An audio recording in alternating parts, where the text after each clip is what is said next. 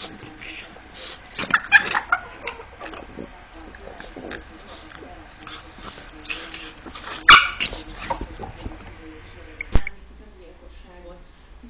időszakban valaki felveszi a kapcsolatot egy baráttal,